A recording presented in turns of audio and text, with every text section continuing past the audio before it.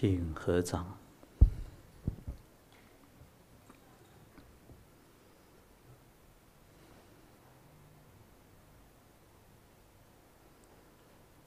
南无本师释迦牟尼佛。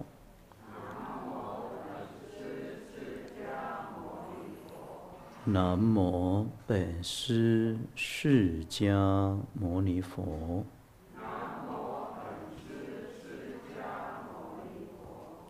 南无本师释迦牟尼佛。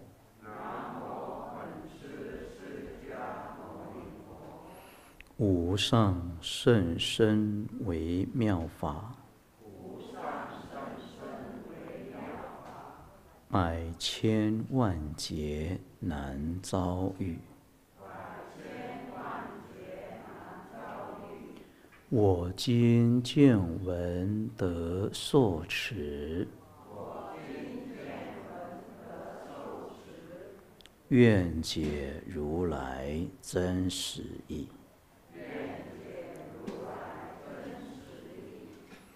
中风三十，细念法事大义。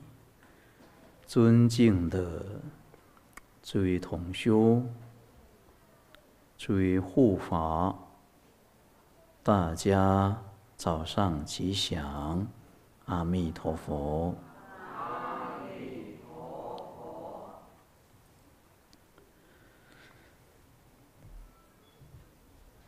今天。在借这个佛期这么殊胜的因缘，再一次啊，来给大家做一个简单的洗讲，介绍中风果师一生啊。对我们特别修净土的，修这个念佛法门最大的贡献呢，就是有这一本三十系念的法事来给我们，字字句句啊，利益都不可思议的，只要依教。他老人家的教诲，没有一个不成就的。从这个三十七年里面呢，我们可以看到这个中风果师啊，他的慈悲，在禅宗啊，禅宗的教学方法呢，他只讲一遍。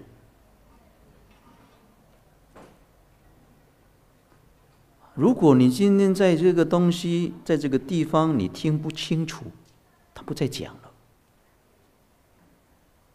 但是在这个中风果师啊，它是不一样哦。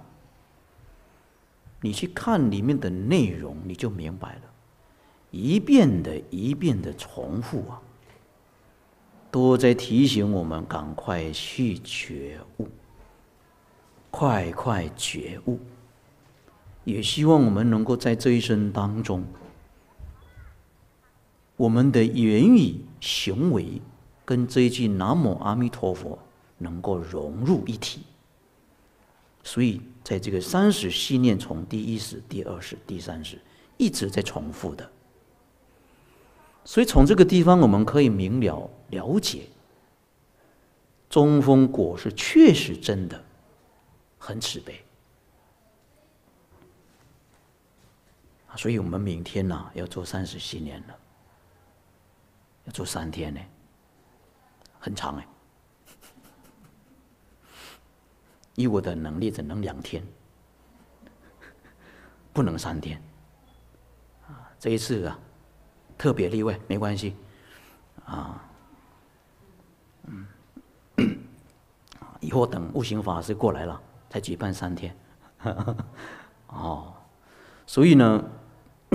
这个三十七念的里面的内容啊，不仅仅我们人呐，人道啊，很喜欢，连鬼神也是很喜欢。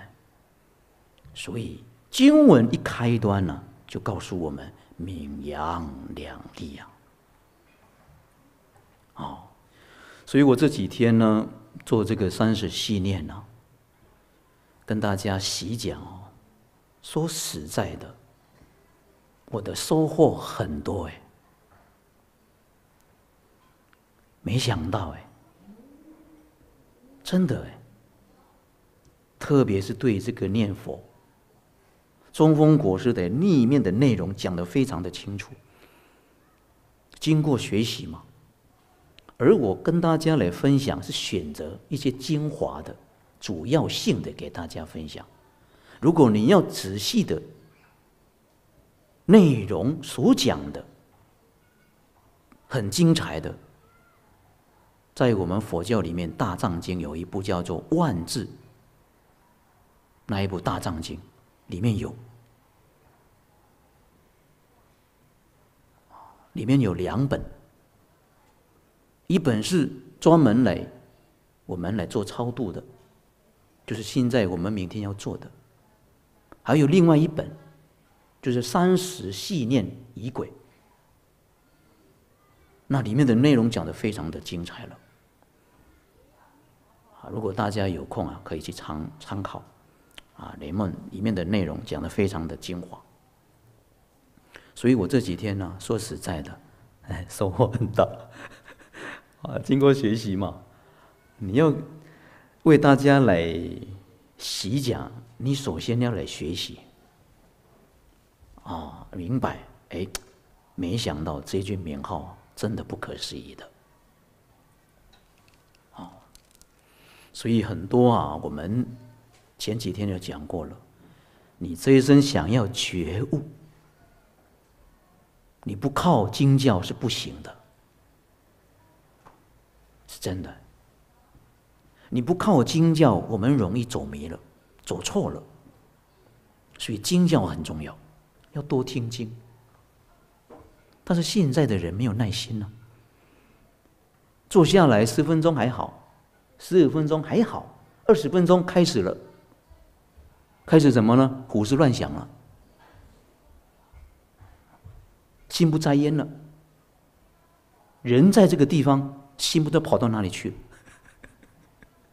所以啊，二十分钟开始了，慢慢呢，那个很不耐心的，所以经啊听不出来它的味道，它的法味，那要怪谁呢？哦所以你不相信？你请一个人坐在里面听师傅在这边讲经，也不一定哎。我宁愿在外面哦啊坐着聊天啊聊天呢，这是非人我对他来讲比听经更快乐。所以啊，说实在的，昨天有人一个居士问我一个问题。他说：“师傅，释迦牟尼佛所讲的这个法，有八万四千法门，每一个法门呐，都能够帮助我们每一个众生，在这一生当中能够解脱，能够离苦得乐。但是我写了好多年，为什么我那个学佛的境界啊，提不起来呢？”那个境界不能提高呢？什么样的原因呢？我们在学习当中、念佛当中很多事情哦，有时候念到一半不念了，学了一半就不学了。那如果今天我们如果想要学佛，你要提高你的境界，你要靠什么呢？你要靠什么？嗯，你要提高你的境界啊！无论在什么样的境界当中，我们在这个人生当中啊，人不如意事的。古人常讲，十有八九嘛。我们在这个人生，不是每一件事情能够让我们称心如意的，让我们很讨厌的、不欢喜的、不高兴的，太多了，太多了。让你那个心很烦恼，在这个境界当中，你没办法经得起考验。那我们要提高你这个境界，那要靠什么呢？起码你将来临终的时候，你的障碍就不多了。就算有障碍，你不会被这个障碍而受干扰。你要慢慢去锻炼。所以昨天有人问这个问题呢，我今天给大家分享，以我自己的经验来讲。你要提高你自己的境界，在修学当中，无论你在念佛、修什么样的法门，念咒也好，读经也罢，拜佛也好，无论你在修什么样的佛法当中，你要靠什么呢？嗯，要靠什么？你要靠什么来维持，让你那个境界啊，念佛能够慢慢的提高？因为我们现在的根性不如以前呢，我们现在这个根性真的不如以前，再加上现在这个时代的诱惑的力量太大了，外面的诱惑太多了，再加上我们的内心的烦恼，你要靠什么呢？你要靠忍辱啊！你要靠忍辱，你没有忍辱的基础上，无论你在修什么样的法门，无论你怎么念佛，你到最后啊很难成就。忍辱很重要的，所以释迦牟尼佛为什么在《金刚经》整个《金刚经》里面的内容，他有很多几句话为我们说明，其中一句。一切法得于忍，你没有忍辱的境界的基础上，你在这个修学当中，你容易被倒了，容易投降了，甚至于有时候随着自己的烦恼，随着自己的习气去造业，所以忍辱很重要，哎。今天有人一个，比如说莫名其妙突然间来骂你，你怎么样去反应呢？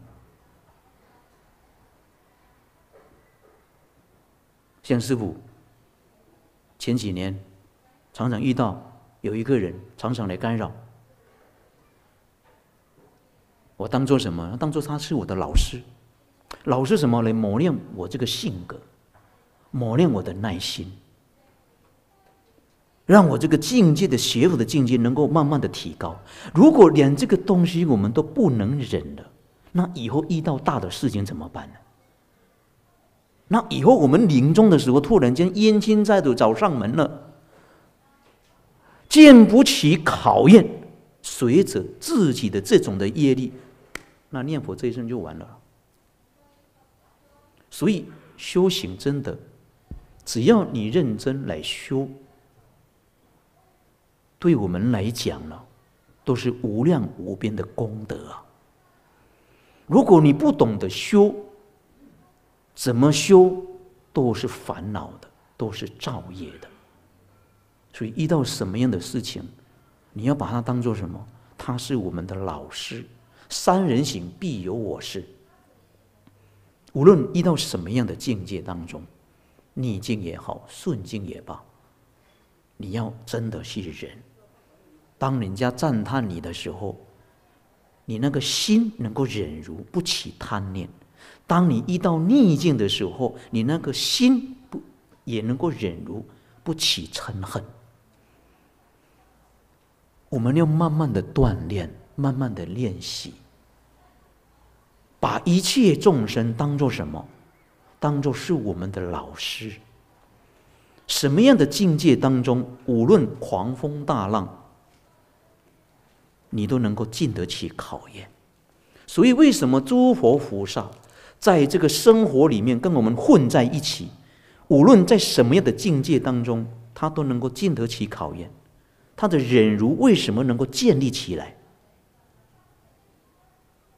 因为他的忍辱所发的是真心的发心的，他那个忍，他他真的发出来的。我们的忍辱啊，所发出来的不是真心的，所以遇到很多事情的时候呢，容易被考倒了，就是这个原因。所以你不能怪别人，只怪自己。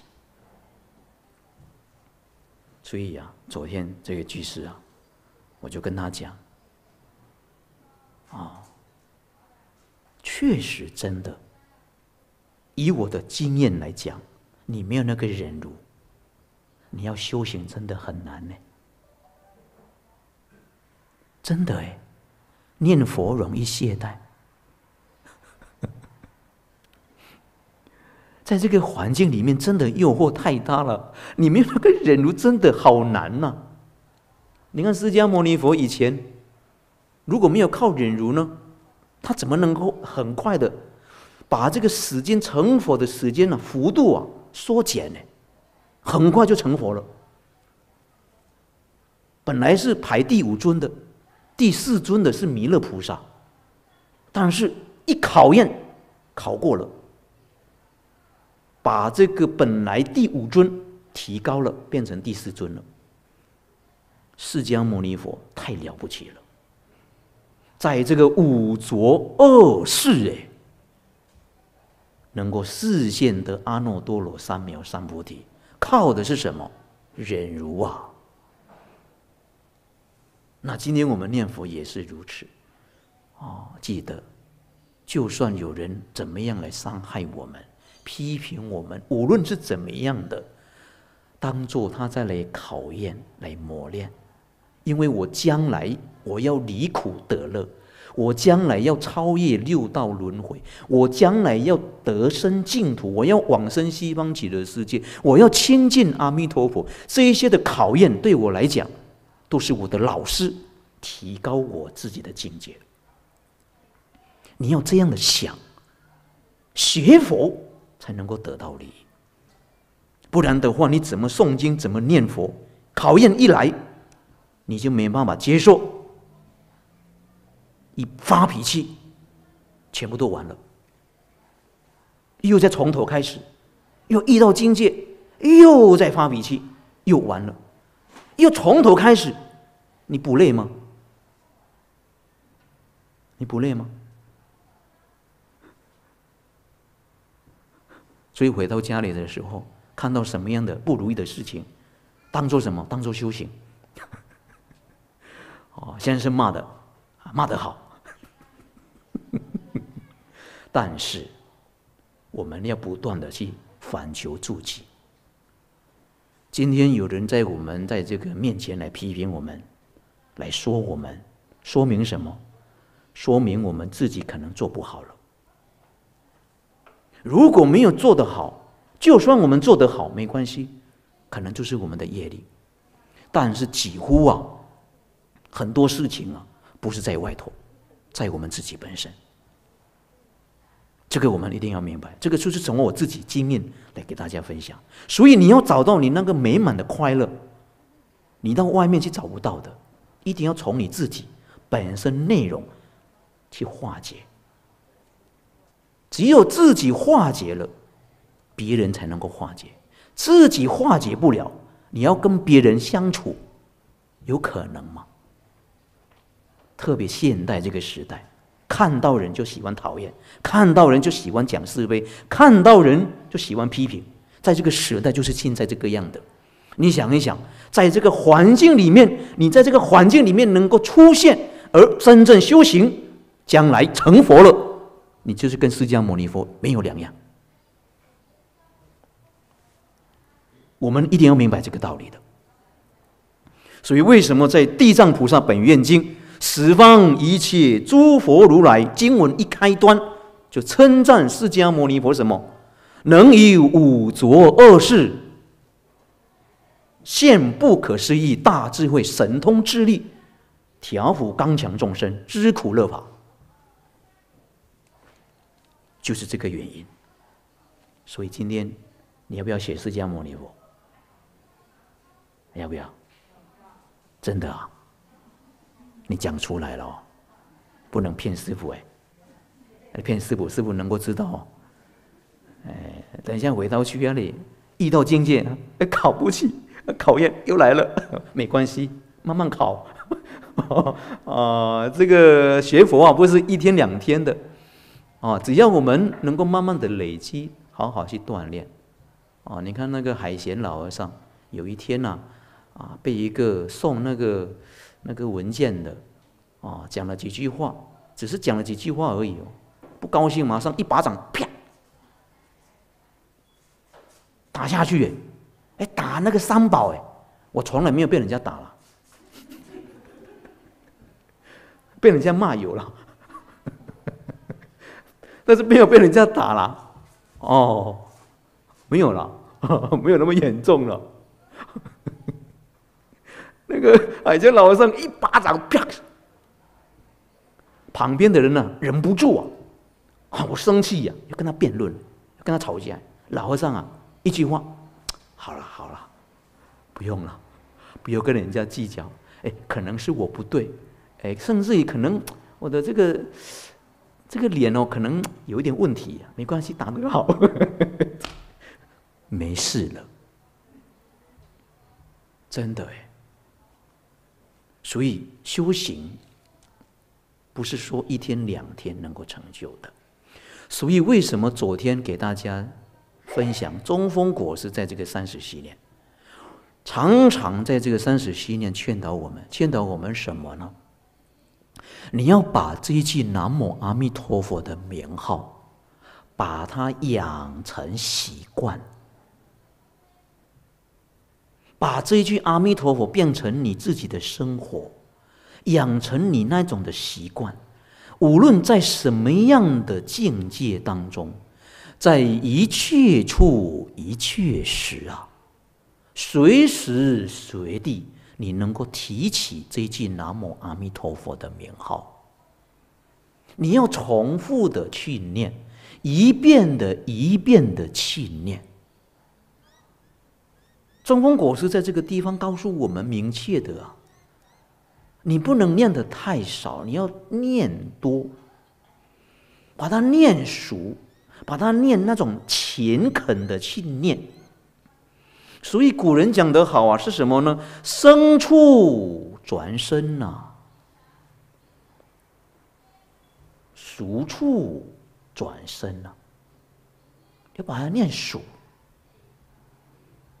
所以昨天我跟大家讲，你看我们的第二代祖师善导大师，善导大师每一次念一句阿弥陀佛的时候，口中出一道光明。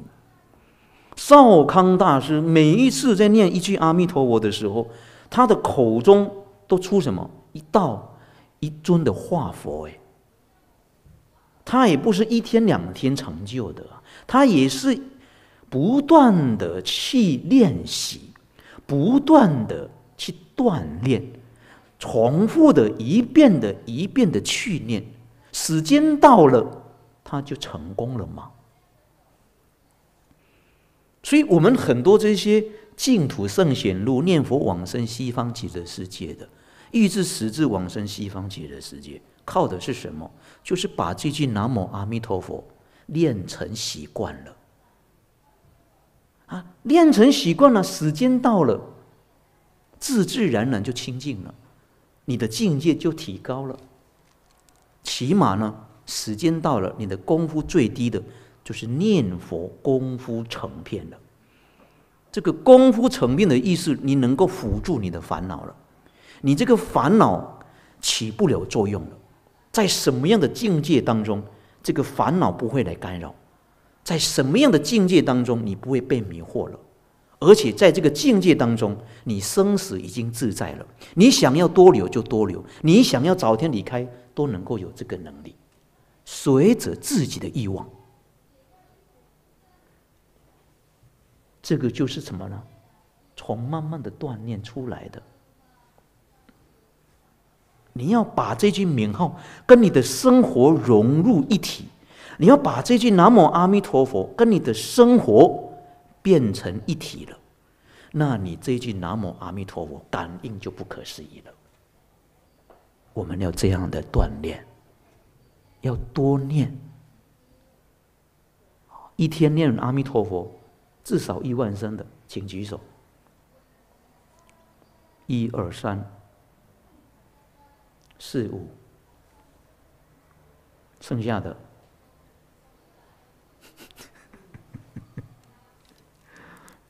所以呢，你要怪谁呀？老师怎么教我们做，我们都不听话。以后念佛不得力，又怪老师，怪佛菩萨，哎，没办法呀。所以这个念佛啊，很多人呐常常讲啊，“阿弥陀佛”这句名号的功德不可思议。很多人说我也念，他也念，那为什么他能够得到感应？为什么我不能得到感应？他也念，我也念，为什么他能够念得法喜？为什么我念佛不能念得法喜？为什么他能够念得得清净心？为什么我不能得清净心？为什么他这个人念佛能够往生西方极乐世界？为什么我今天念佛往生不能到西方极乐世界？区别在哪里？为什么不能得感应？功德为什么有区别这么大？为什么善导大师念佛一句阿弥陀佛，口中都出一道光明？我们为什么没有呢？喊破罗红，连一道光明都没有。什么原因呢？你看以前呢，以前那个印光大师啊，印光大师你知道吧？是我们净土中第几代的祖师？第几代啊？第十三代。印光大师啊，他有一个很特别，他有一个特别什么呢？他念大悲咒啊，那个水啊，好灵哎。很灵哦，真的很灵。印光大师的功课，每一天晚上睡觉之前，至少五十遍呢，念大悲咒哎。所以他的那个大悲咒那个水呀，很灵。所以很多那个时候呢，那个很多人生病哦，小毛小病啊，都去找印光大师哎。印光大师没有别的。此大悲咒，把那个水呀给他喝，很多就念，一喝下去啊就好了。印光大师哎，我以前刚刚出家，我有看过哎，我们的邻居，我我我住的那个我师傅的道场，那个邻居啊，他的生活啊，这个人是有钱人，那个房子好大，像皇宫一样，好多钱。他生病，常常常常看医生，那个病常常不好，这个病那个病，所以啊，有一天呢，他到这个我们的师傅道场隔壁而已啊，去求啊，然后呢，那个时候我的师兄，我的师兄哦，所以我的师兄呢，在这个大殿里面呢求，他来求嘛，啊，我这个师兄啊，念这个大悲咒。念了二十一遍，然后给他喝，然后呢，回去之前呢，劝导他，你要天天念南无观世音菩萨，你要相信观世音菩萨，观世音菩萨是大慈大悲、救苦救难、广大灵感，你要相信他，只要你相信，你就有救。所以啊，他呢就把这个大杯水拿回去，然后呢，每一天。晚上之前睡觉之前，呢念这个名号，哎，病了自自然就好了。这个是我亲眼看到的。印光大师啊，念那个大悲咒啊，那个很灵啊，灵的不得了啊。我们今天呢，不要说五十遍，念了一百遍，不但没有灵，喝了这一杯水可能会拉肚子。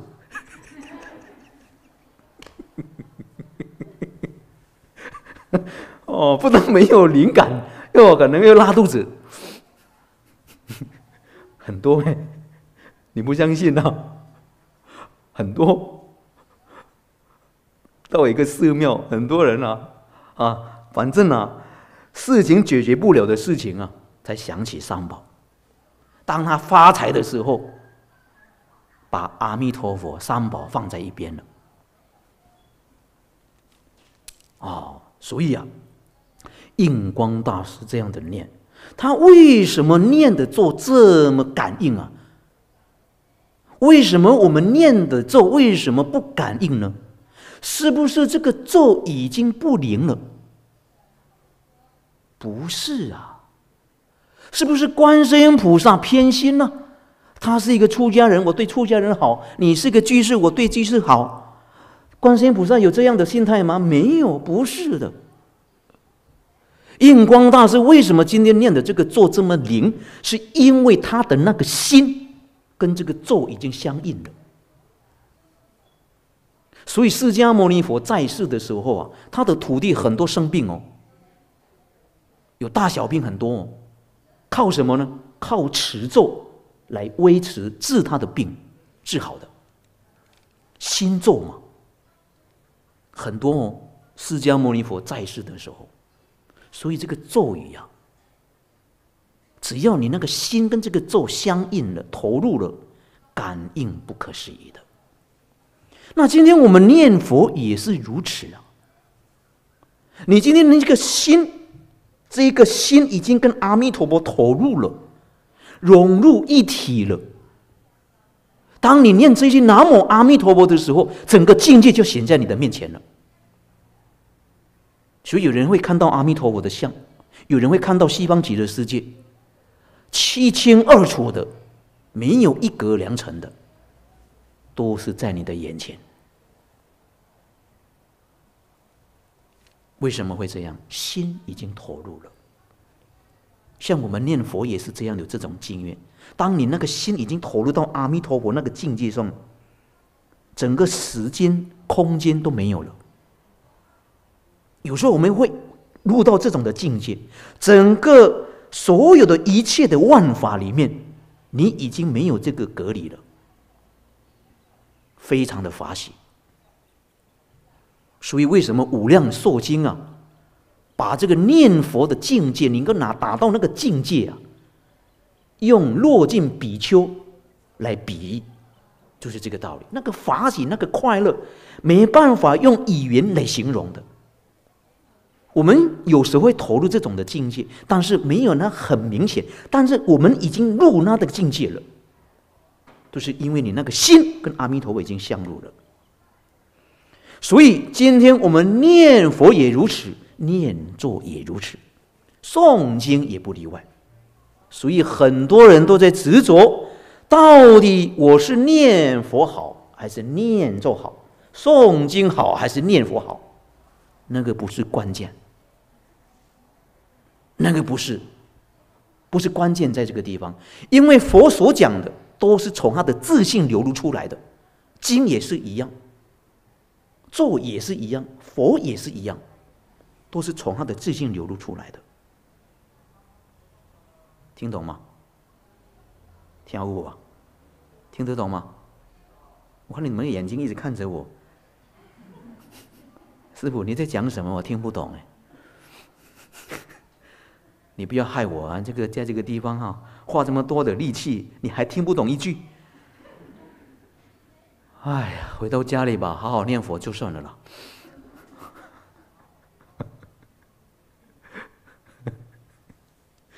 好像以前呢，有一位老人家，每一次在听经的时候，坐在后面，坐在那个椅子，好舒服，一坐，刚刚师傅开始。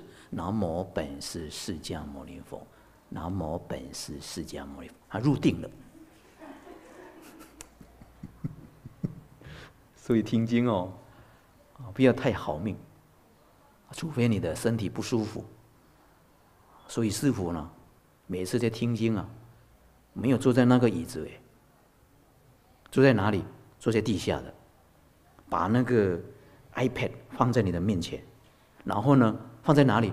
前面都是我的佛像，佛在那边，你敢打瞌睡吗？就是这样的念佛听经啊。哎，老人家，哎哎入定了，啊入定之后呢，哎起来了，结束了吗？啊大家鼓掌了吗？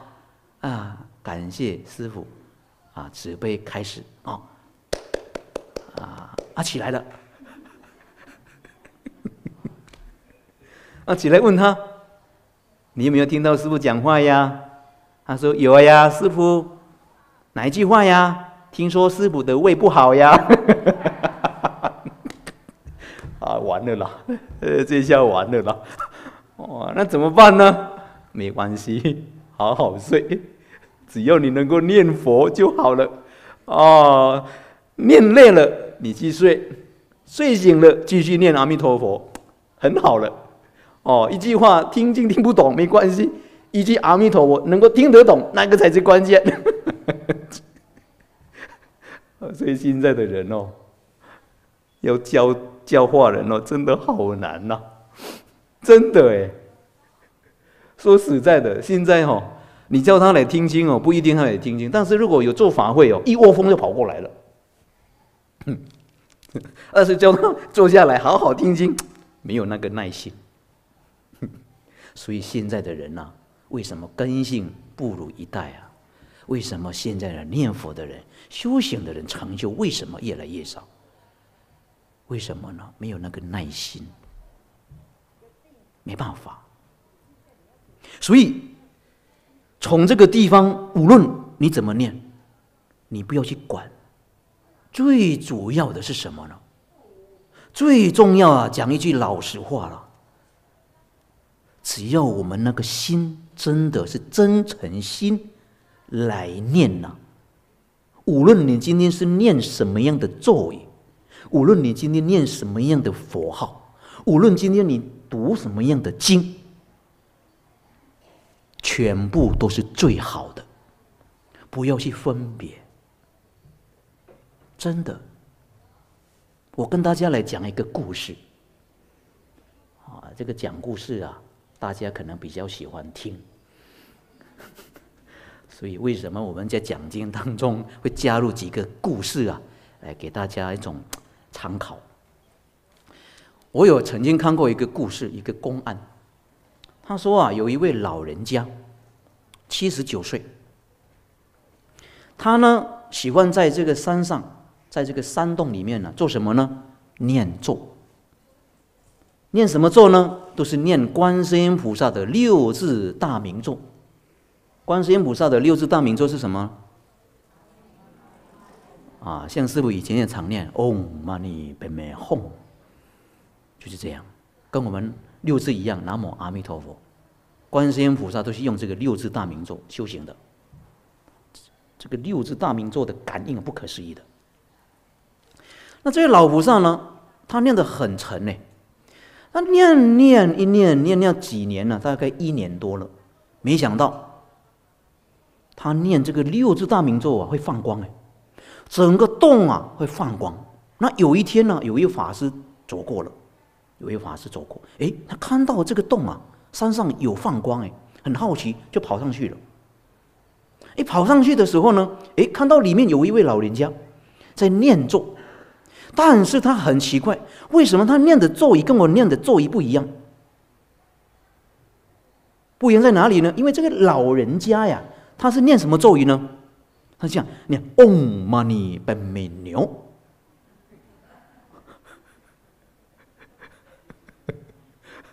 他不是念 “Om Mani Padme Hum” 哦，他念 “Om Mani Padme Hum”，“Om Mani Padme Hum”，“Om Mani Padme Hum”，把这个牛娘念出来了。很牛啊，知道吗？动物嘛，牛啊，人家是念 “Om Mani Padme Hum”，把人家念到“嗡嘛呢叭咪牛”，“嗡嘛呢叭咪牛”，啊，这个法是很奇怪。诶，这个这个老人家又怎么念这个“嗡嘛呢叭咪牛”？明明是“嗡嘛呢叭咪吽”啊，就跑进去了。就刚刚那个老人家讲：“哎，老人家你念错了，诶，念对的是‘嗡嘛呢叭咪吽’，你怎么念‘嗡嘛呢叭咪叭咪牛’呢？”哎，这一下惨了，这句话干扰他的清净心了。这位老人家啊，已经一年多都念“嗡嘛呢叭咪”。牛了，你突然间跟他讲 Om Mani Padme Hum，那心整个心就乱了，一边念咒一边心乱，越念心越散乱了。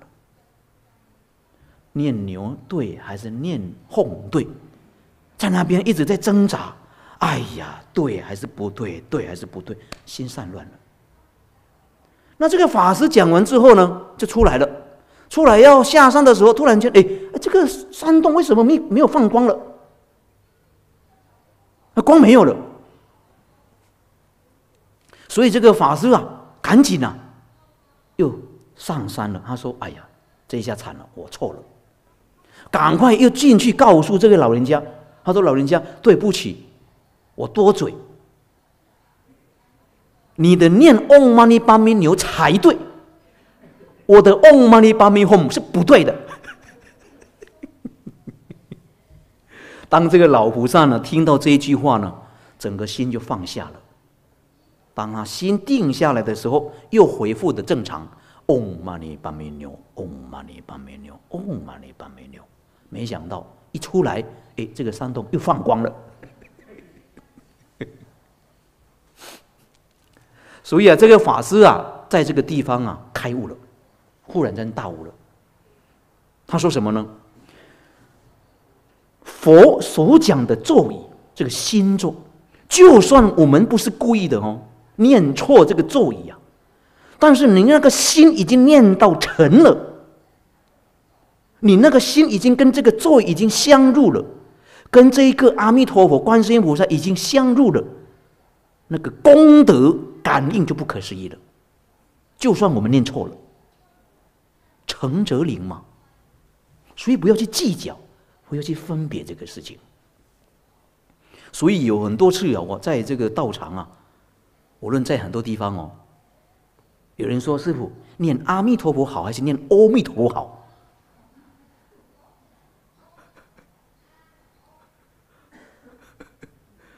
来了一个越南的师傅，我念阿弥陀佛好还是阿弥陀佛好？在那边很挣扎。在那边挣扎，我已经习惯念阿弥陀佛。突然间有人跟我说：“你要念阿弥陀佛，你逼着他念这个阿弥陀佛。”他已经习惯了。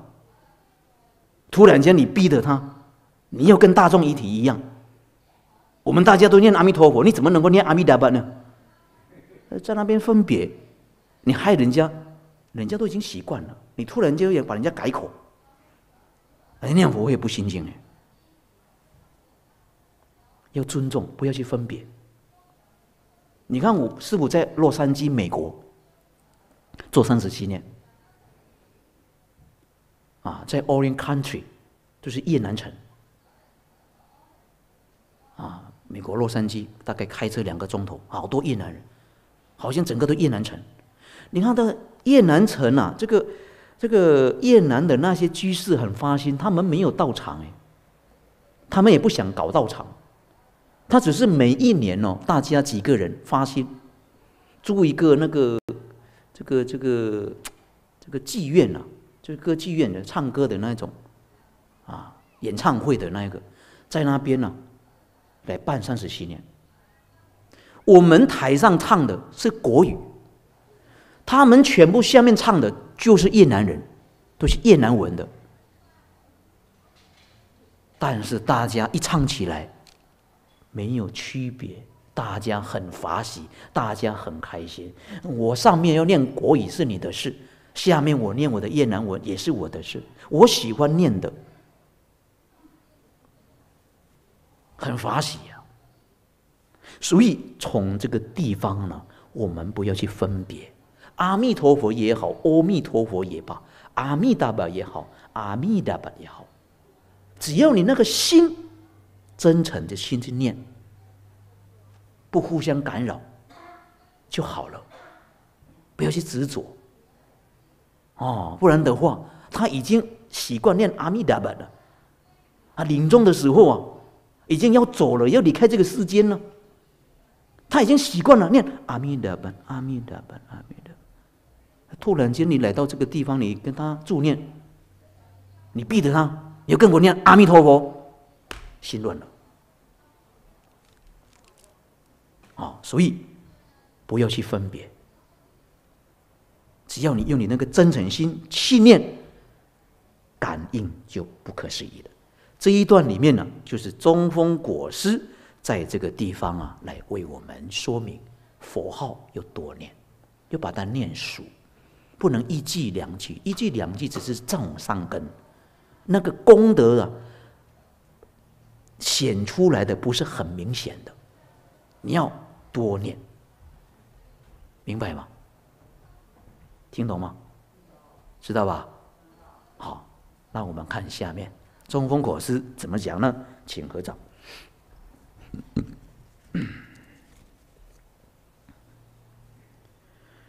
下情为存以难施，一念回光而一往，究竟不居轩外，分明只在目前。甚如是，几经众等细念弥陀三十佛事，只如不设正修，亲蒙所记一句，如何举扬？请放掌。经文我们念到这个地方，这段经文呢，非常非常的难得啊。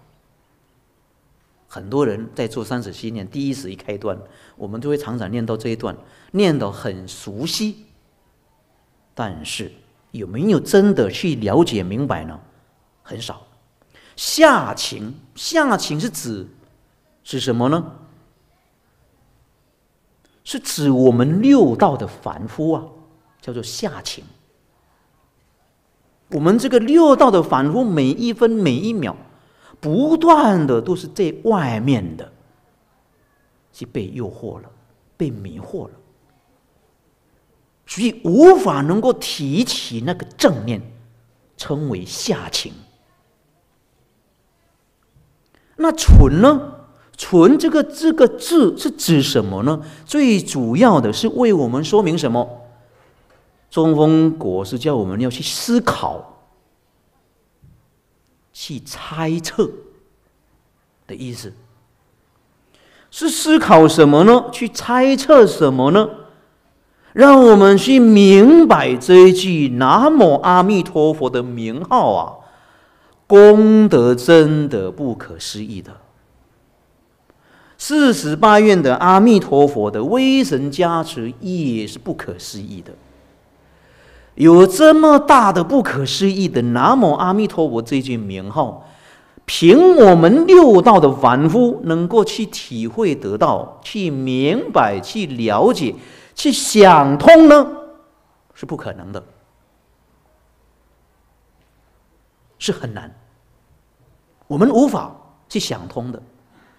所以我们在弥陀经，我们谁看得到？释迦牟尼佛在这个弥陀经讲。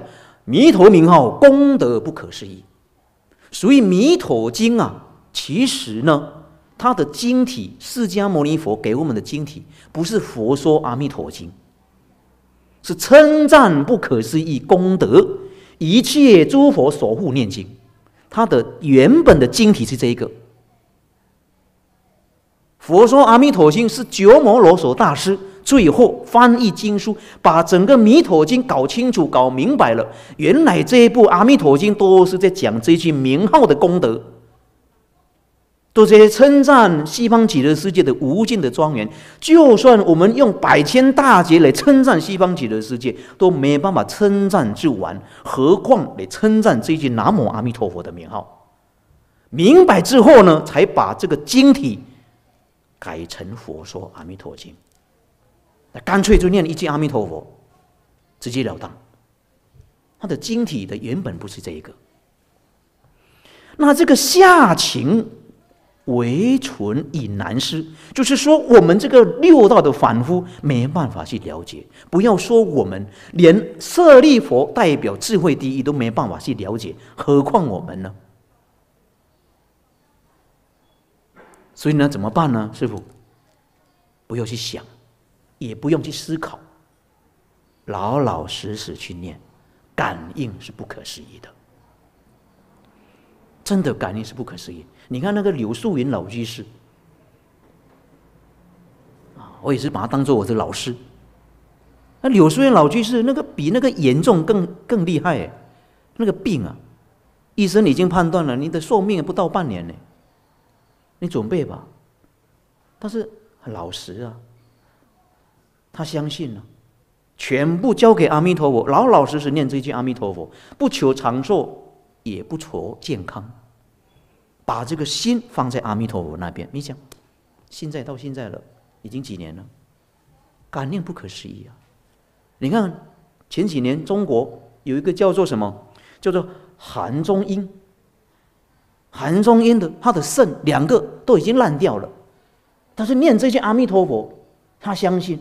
真诚的心，今念这句南无阿弥陀佛，没想到感应不可思议，长出什么？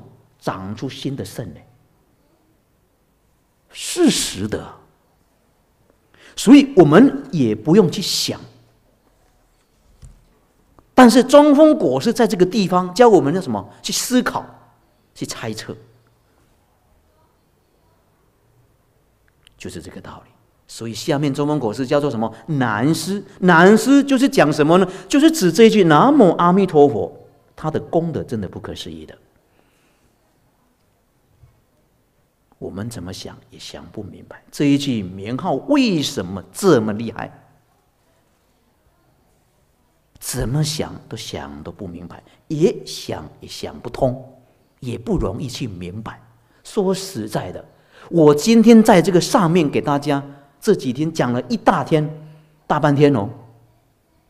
我自己啊，也真正能够明白，也讲不清楚啊。你想一想，这句名号，你怎么能够想象的呢？无法去想象的。但是我们老老实实去念就好了，真的。像师傅以前小的时候，我们小的时候很喜欢看一部美国的影片。叫做超人，英文叫做什么？Superman。大家有没有看过？有没有？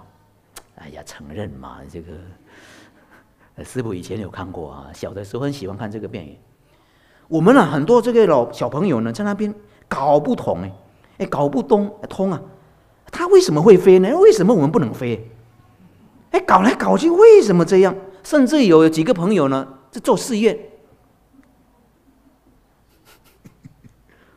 那傻孩子就是这样。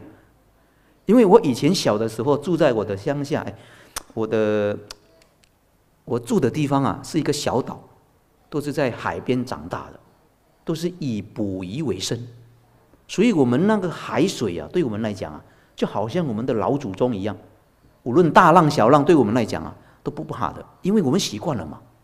每一天都是在海边游泳的，就是这样的。那有一天呢，搞一大半天搞不懂嘞。然后你看到这个 Superman 哦，这个这个超人哦，哎，他后面不是绑了一块布吗？哎，可能这个绑这块布哦，我们就能够飞起来了。然后呢，每一个人哦，绑了这块布，一绑起来，然后跑到哪里去？跑到那个海边的船，那个船呐，就最高的船，要跑到最高的，然后呢，好多人呢，从这个最高的船呢跳下去，到海边，有没有飞起来？不但没有飞起来，一跳，哇，好痛啊！哇，那个真的好痛啊，痛的不得了。哦，还起来在那边搞大半天。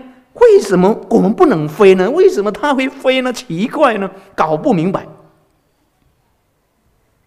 所以我们妈妈、母亲呢，骂我们呢，傻孩子，这个傻孩子。哦，他讲一句话：做演员的人呐，做戏的人，如果不疯狂啊，你们看戏的人会被迷吗？会被骗吗？就是这样的，后来长大才知道，哎呀，那个是个影片呐！哦呀，那为什么被骗呢？啊，所以呢，这句名号功德是什么样的功德不可思议？我们不要去想它，原理原则好好去念，老老实实去念，一遍的一遍的去念，不要去执着。因为我们现在反复是没办法，所以中风果实在这个地方告诉我们：只要我们肯念，功德所显出来的利益都是不可思议的。所以中峰果师告诉我们：一念回光而一往啊。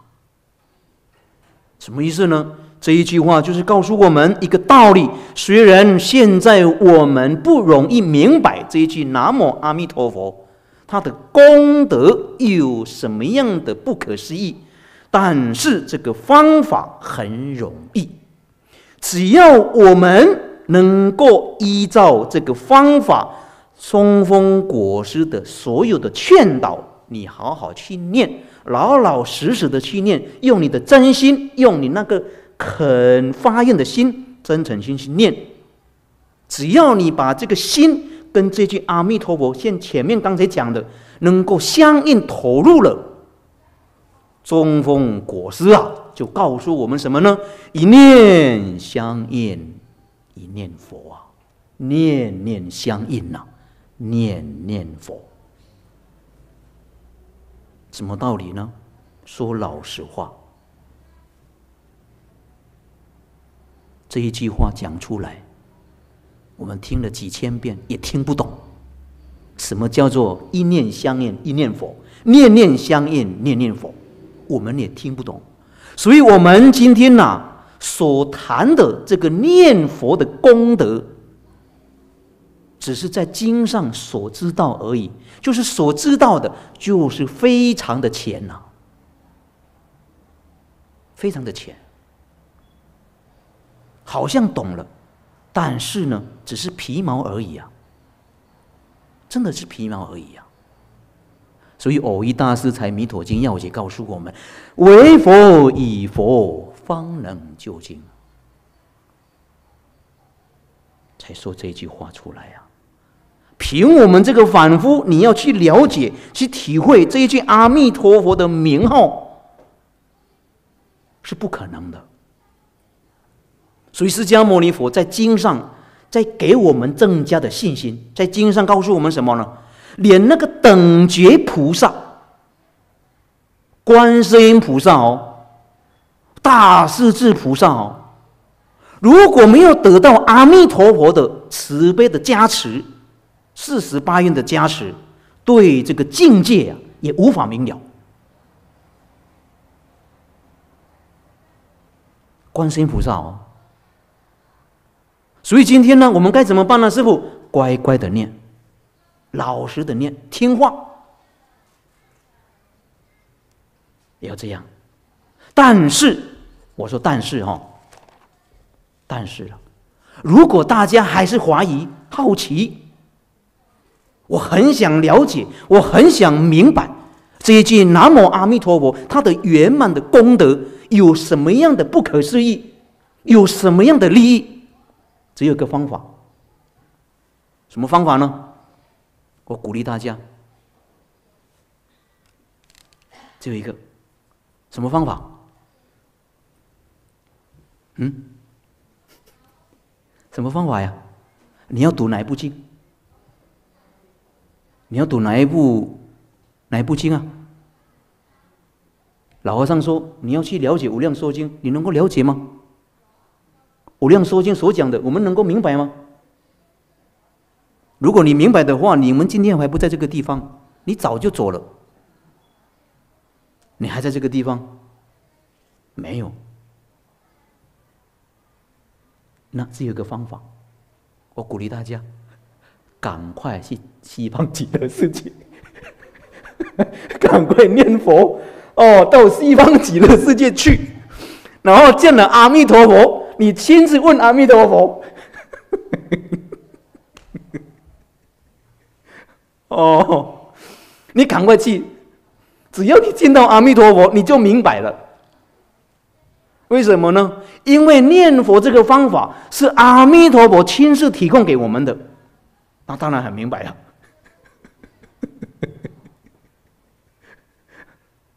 说实在的，我到现在还搞不清楚。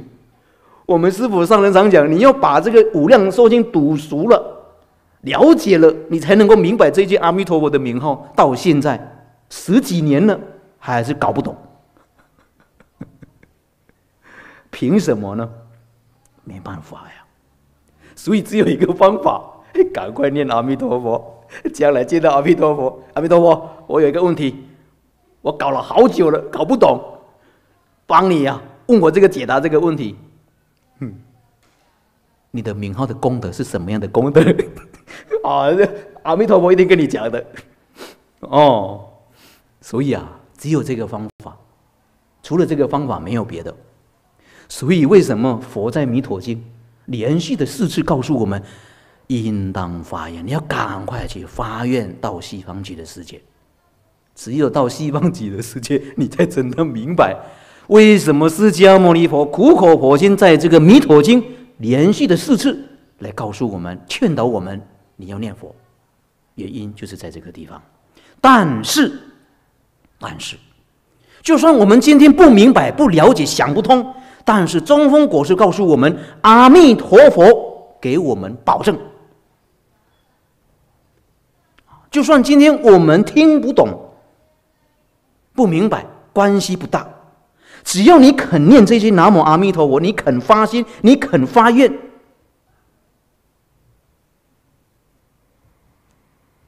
就足够了。但是中风果师下面又告诉我们，你还是要多了解一点，因为你能够多了解一点呢，我们这个念佛的功德容易相应了。道理就是在这个地方，所以你修净土法门、念佛法门，为什么我们师傅上人教我们要常常去读诵这个无量寿经？原因就是让我们明白这个道理。将来你念佛了，你明白了，你那个相应，你就跟阿弥陀佛投入了。那今天有人问了，师傅，那我今天如果没有完全全部懂呢，怎么办呢？没关系。中风果实后面告诉我们：只要你老实，你听话，你真的好好念，一遍一遍的去念，把它念熟了，重复的一起去念，你真的把它念好了，中风果实就告诉我们：这个就是念佛法门殊胜之处啊！都是用这个方法来成就的，真的。所以从这个地方啊，中风果师啊，给我们说明一件事情：今天十方诸佛如来、诸大菩萨教我们念这个方法，他们有没有用另外一个方法？有没有？他不可能啊！他不可能教我们念那念这一句个方法，南无阿弥陀佛的方法，然后他念用另外一个方法，没有。为什么呢？是什么样的原因呢？怎么讲清楚呢？明天。再跟大家 来说明。啊，今天呢，简单呢，给大家来说明。啊，这个三十系念，刚才前面所讲的。下情为存以难施哦，希望大家好好念，就算我们听不明白。听不懂，只要大家老实听话，啊，一遍的一遍的去听去念，啊，用你的那个心，啊，有耐心，啊，有清净心，啊，真诚心，你好好去念，就算很多妄念没关系，不用理他。哦，只要你回复到那个名号为中心，慢慢的，你的妄念呢？会越来越少，啊，这个就是我这几天呢跟大家啊学习这个讲经这个三十系念所得到的。说实在的，当你念这句南无阿弥陀佛的时候，那个妄念就少了，妄念少了，念佛就很法喜的，法喜身体就是健康的。所以你要身体健康，心健康，身体就健康了。啊，所以希望大家，我们明天呢要做三十系念了。我们用个真诚心来办这个法会，啊，来举办这个法会，啊，希望啊，我们一起来回向，来回向给我们这个世间，啊，这个大灾化小，小灾化无，也希望我们的过往的父母，我们的累劫姻亲债主，在这个三十七念当中，蒙阿弥陀佛见往生西方极乐世界。将来他们到西方极乐世界，我们将来离开这个世间，也能够跟他们同生极乐国。那我们来到这个世间，不白来了，真的不白来了。无量劫以来，我们不会再流浪了，因为这个流浪生死太苦了。好，所以大家好好听话，该慷慨的慷慨，该放下的放下，尽心尽力。因为这个世间都是假的，没有一样东西带得走的，不要去想太多。啊，我们可以欣赏，但是不能霸占，也不能控制，也不能占有，因为所占的，那就是苦的。好，祝大家年年如意，岁岁平安，祝大家身体健康。谢谢大家今天的赞叹，今天的支持，谢谢阿弥陀佛。